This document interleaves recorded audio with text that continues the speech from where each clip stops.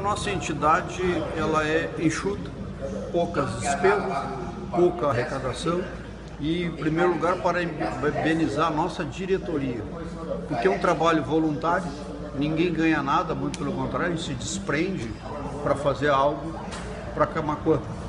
Isso, a nossa entidade tem 84 anos de atuação no município e para nós não seria mais do que normal uma Assembleia ser aprovada por unanimidade, porque a gente prestou conta do dinheiro do associado. A entidade é do associado. O dinheiro do associado fica dentro da entidade. Então o que nós temos a agradecer? A todo o associado que é participativo da nossa associação comercial. Sem dúvida nenhuma, é, não houve questionamento, é sinal que todos concordaram com o balanço que estava impresso, né? E já aprovado previamente pelo Conselho Fiscal. E eu acredito que essa gestão está sendo bem conduzida pelo presidente atual, Paulo Borkowski.